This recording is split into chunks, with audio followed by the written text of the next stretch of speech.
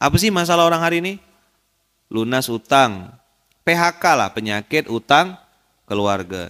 Ini akhir bulan, ya kan? Tanggal 29. Ini udah jengap-jengap kan saldo kan?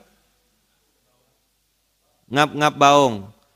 Bisa enggak tiba-tiba Allah datangkan duit, datangkan rezeki tanpa kita sangka-sangka? Jawabannya terlalu mudah bagi Allah.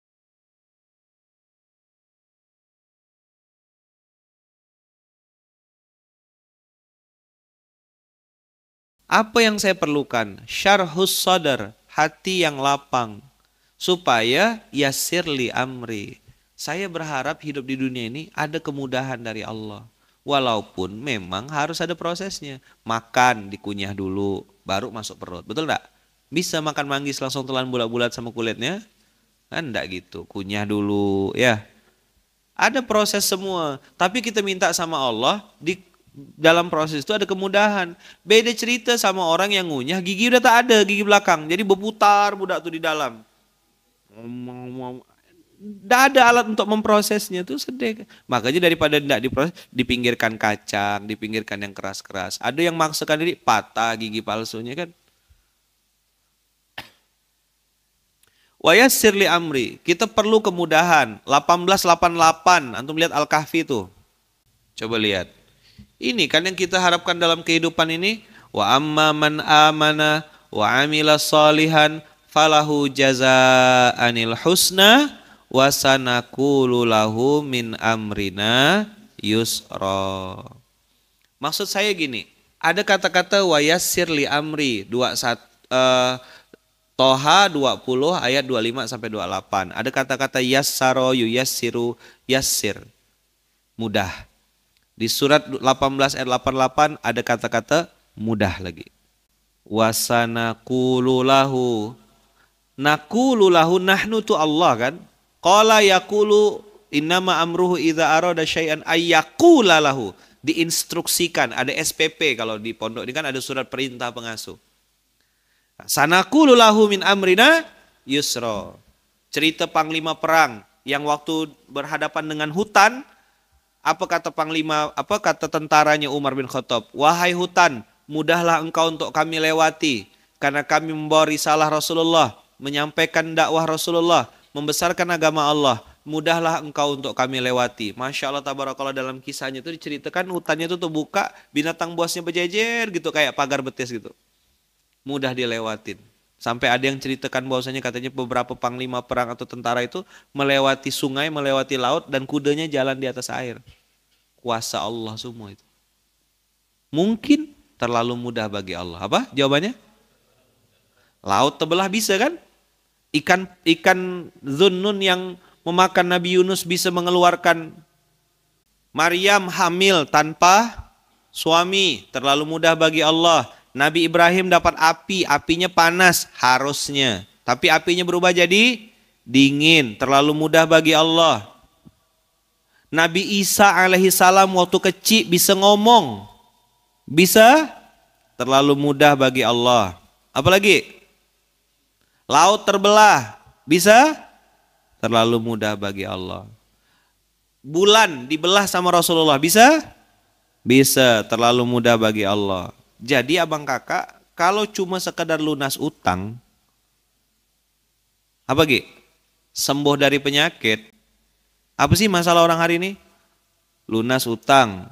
PHK lah, penyakit, utang, keluarga.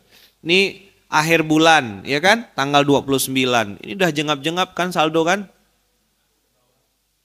Ngap-ngap baung. Bisa enggak tiba-tiba Allah datangkan duit, datangkan rezeki tanpa kita sangka-sangka? Jawabannya terlalu mudah bagi Allah, ya kan? Karena ada yang tiba-tiba dapat duit itu langsung senyumnya lebar gitu. Waktu datang tuh terlipat-lipat mukanya. Lo bayangkan ya, rezekinya tuh terbang dari suatu pulau, pindah ke pulau lain, datang di waktu yang tepat gitu. Pas memang saldo tuh udah teriak-teriak, tolong, tolong gitu. Eh tiba-tiba ada dapat rezeki. Ya kan? Tengok Allah kalau mau ngasih apa bahasanya? Terlalu mudah Bagi Allah, TMBA kan? Jadi abang kakak maksud saya gini, ada hal-hal yang Allah kasih kemudahan. Itu karena syarhus sadar. Nah, maksud saya hari ini kita coba buka dada kita lapang-lapang, apa ya yang salah dalam diri saya ini yang bisa saya perbaiki sehingga urusan saya dimudahkan Allah. Kenapa ya urusan saya ini kok kayaknya sulit? Jangan-jangan saya masih nyimpan dendam, kesal. Karena ada lagunya tuh. Aku sudah tak marah. Kan gitu. Nah, nyanyilah. Nabi Yunus tuh kan marah dia. Makanya dipersulit. Gimana lagunya tuh? Lirik lagu satu-satu.